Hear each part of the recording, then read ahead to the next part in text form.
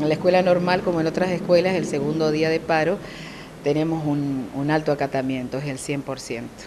No tenemos docentes y ayer solo un alumno vino, que era nuevo en la institución y bueno, como no tenía docente, volvió a su casa. Así que la actividad prácticamente reducida a cero.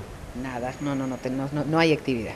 Eh, los padres se han intentado comunicar con el establecimiento, los atienden telefónicamente, se, hicieron presentes en el lugar también averiguando qué es lo que sucede con, el tema de las clases o no, ya saben atento a lo que sucede, este, directamente no mandan los chicos a la escuela. No, muy pocos papás se han acercado. Por los medios de comunicación se ha difundido en estos días la medida de fuerza de AGMER, que es al gremio al cual pertenecemos, así que ya es como que estaban avisados, no vinieron. El acatamiento ha sido del 99%, solamente un docente se nos ha presentado y el alumnado no ha venido directamente.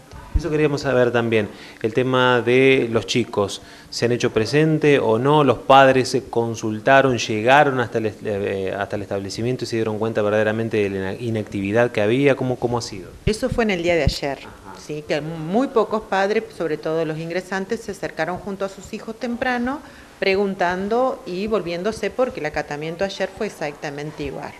hoy ya no. No, hoy ya no vinieron directamente los chicos, no vinieron para nada.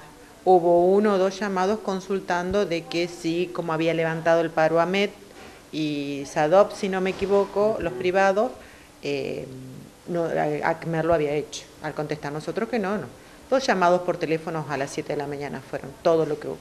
Bueno, así que los docentes confirmando un alto nivel de acatamiento a la medida de fuerza. 99% porque, como dije, solamente un docente se presentó. Bueno, sí se da la presencia de los directivos que tienen que estar. Obviamente nosotros estamos todos, casualmente en estos momentos estamos los tres trabajando.